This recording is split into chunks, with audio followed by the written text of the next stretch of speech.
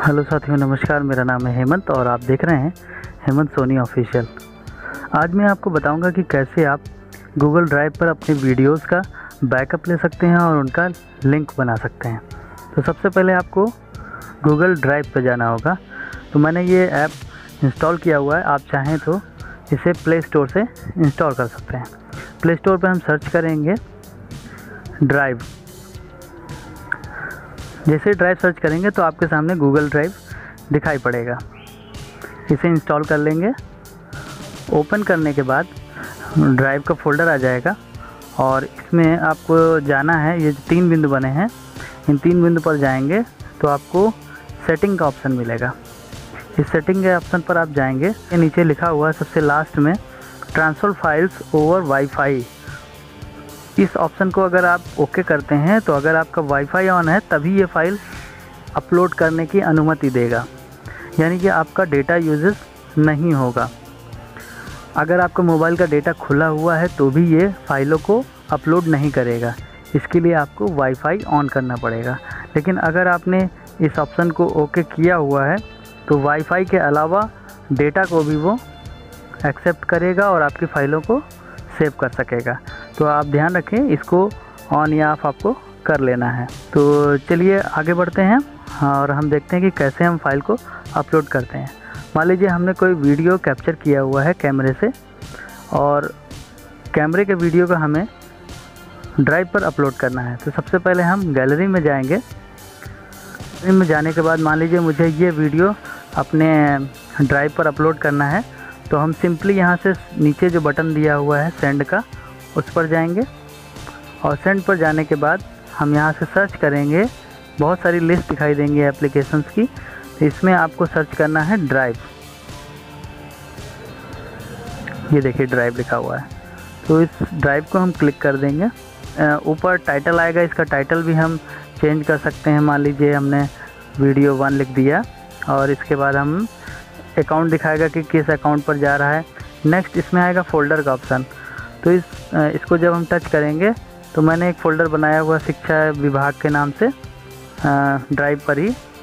तो इस फोल्डर में हम इसको सेव कर लेंगे। मैंने इस फोल्डर को टच किया सेलेक्ट किया और सेव का बटन दबाएँगे। जैसे हम दबाएँगे तो प्रिपेयरिंग टू अपलोड फ़ाइल लिखकर आ जाएगा। और ये जो वीडियो है आ, हमारा ड्राइव पर जाने लगेगा। देखिए ये लिख कर आ रहा है। Syncing items drive is syncing your files and uploading one file आप देख पा रहे होंगे। यानी आपकी फ़ाइल अपलोड हो रही है।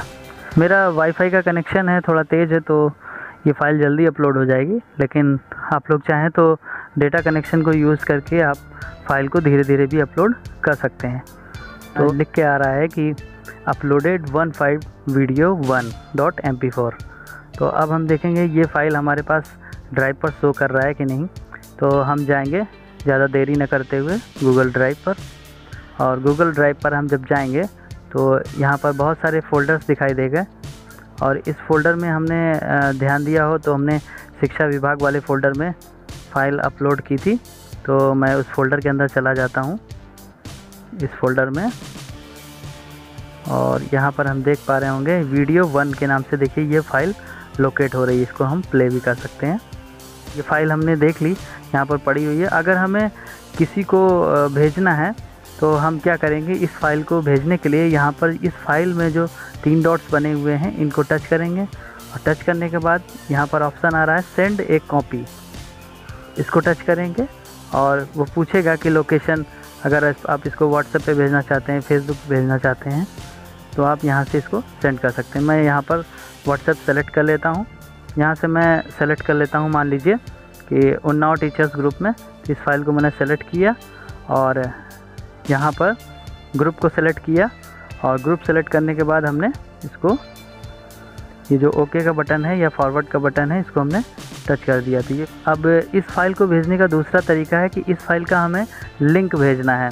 तो लिंक भेजने के लिए हम इस फ़ाइल के तीन बिंदु पर जाएँगे और इनको टच करेंगे। यहाँ पर कॉपी लिंक का ऑप्शन आएगा। इसको हम टच करेंगे। ये लिंक हमारा कॉपी हो जाएगा। लिंक कॉपी टू क्लिपबोर्ड लिख कर आ जाएगा।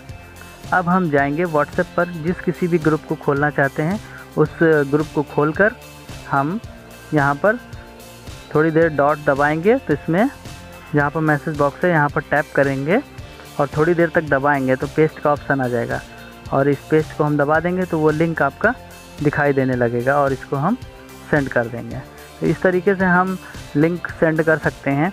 एक चीज़ और ध्यान देने लायक है कि जब हम लिंक को भेज रहे हों तो सबसे पहले हमें इसकी सिक्योरिटी चेक करना भी ज़रूरी है कि आपने वीडियो में सिक्योरिटी ओके की हुई है कि नहीं, कि और कोई इसको देख पाएगा या नहीं। इसके लिए हम वापस से तीन डॉट्स पर जाएँगे और सबसे लास्ट में है देखिए डिटेल्स एंड एक्टिविटी उस फ़ाइल का जो नाम दिया हुआ है, उस फ़ाइल के तीन डॉट्स को टच करेंगे और सबसे लास्ट में जाएँगे, लिखा है डिटेल्स एंड एक्टिविटी इसको टच करेंगे तो ये कह रहा है, देखिए who can access who has access तो यहाँ पर हम इसको टच करेंगे।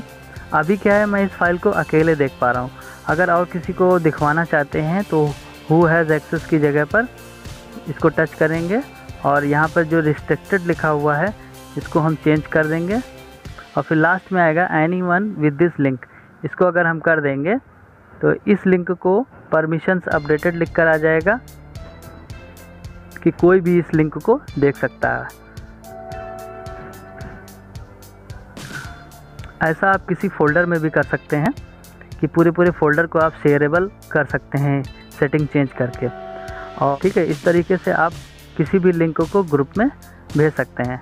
कुछ ध्यान देने वाली बातें हैं कि गूगल ड्राइव पर आपको 15 जीबी का ही फुल स्पेस मिलता है। इसके बाद आपको स्पेस नहीं मिलेगा। दूसरा, आपको ध्यान रखना है कि सेटिंग में जा कर के वाईफाई का ऑप्शन ज़रूर ऑफ़ कर दें।